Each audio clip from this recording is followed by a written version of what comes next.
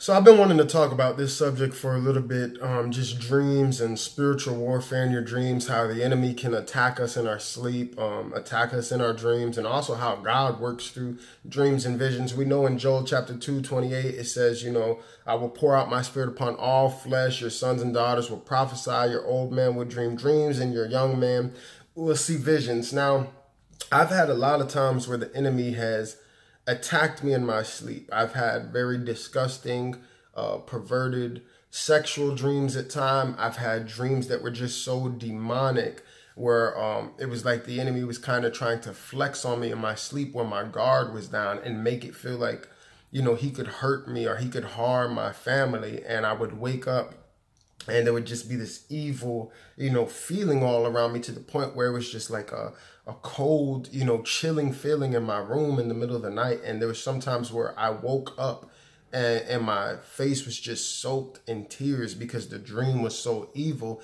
And it's like like my soul was trying to fight back in the dream, but you know, it was spiritual warfare. And there have been times where I even woke up with um the sleep paralysis. I remember one time in particular in South Korea where uh, I woke up and I had a just a disgusting, evil dream. I mean, demon spirits and things running all around, just trying to uh, oppress me and kill me. It was very violent, and um, the the spirit of fear was trying to overtake me, and it was almost like there was this weight on my chest. And when I woke up, the the tears were already flowing, and I couldn't turn my head to the left or the right. I couldn't move. I couldn't get up. And the funny thing was, my Bible was on my bed, and I remember thinking to myself, if, if I can just, you know, reach my sword, if I can just grab my word and open it. And it was a scary feeling because I was just paralyzed, you know.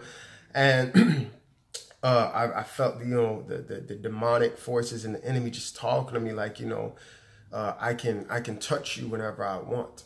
So one of the things, this is transparency that I struggle with is this fear that something bad is going to happen to me. You know, I'm going to get on a plane or I'm going to get in a car and there's going to be an accident and the enemy, he can just take me out whenever he wants. And that's what he tries to do through those dreams. Check this out. Now, the same thing I had a dream last night where we had a prayer meeting in my house with my family and I was really asking the Lord for some directions on some things. And I said, Lord, make it so clear to me and so when I went to sleep last night, the dream that God gave me, it was like I was laying kind of like this, you know, just kind of kind of limp in his hand.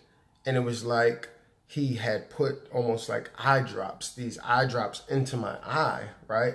So it's like I was laying there and I couldn't see if it was like his tears or whatever, but I, I, just saw that he was dropping these drops in my eye. And when he dropped the drop in my eye, it's like it gave me a vision inside of the dream. And he reconfirmed a lot of things in my life, like clear as day about what church I should be going to, what my next move should be. It was like it was like I was watching a movie of my life in the future, but it also lined up with what God had already been showing me through prayer, through fasting, through counseling with my pastors and and my brothers. So God put that seed in my mind through a dream, as it says in Joel chapter 2. But the enemy is a copycat. The Bible, you know, we know that God, He's the lion of Judah the Bible says the enemy is like a lion. So he tries to copy and imitate anything that God does. That's why in the Holy Spirit, uh, you get this this feeling, you know, you get this high, and that's why you have weed and you have alcohol, you know, you get drunk in the spirit. The enemy tries to give you a substitute for the things of God instead of you getting that real thing. That's why the Bible says, Oh, taste and see that the Lord is good.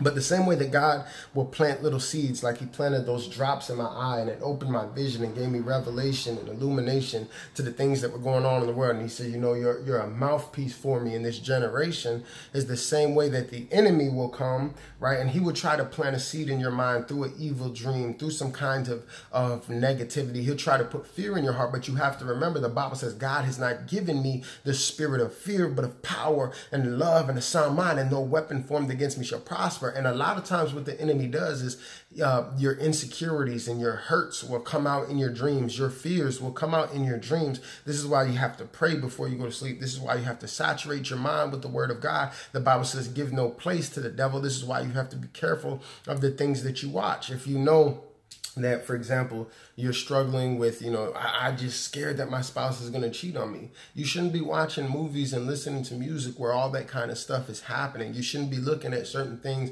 on the internet because they when you go to sleep the enemy is going to try, to try to attack you and those insecurities and those fears and get you in a mood and, and and reinforce some things inside of you. So then the next morning you wake up and you're thinking about that dream and and and it's just playing over in your mind and you're in such a bad my husband was was cheating on me in the dream and it wasn't even a thing.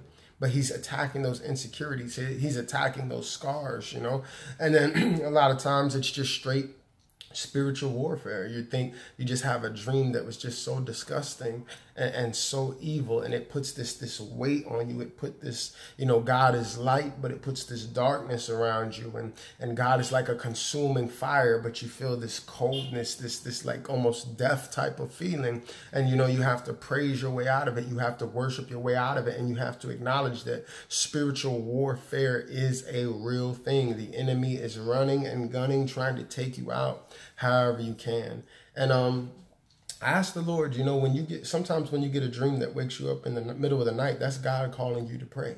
He's trying to tell you something. He's trying to show you something. Some of you are having dreams about family members, dreams about the future. He's trying to reveal some things to you and he's calling you to prayer. He doesn't just give you the dream to give you the dream. He gives you the dream and then you need to get up and you need to pray about it. Or if the enemy comes into you and gives you one, you know, a nightmare or whatever you want to call it, you got to still get up and pray against it with the authority that you have through Jesus Christ and the Spirit of God that is living inside of you. You got to come against that thing and take dominion of the atmosphere in your home, take dominion over the atmosphere in your room, take dominion over the atmosphere in your mind that the enemy has tried to infiltrate.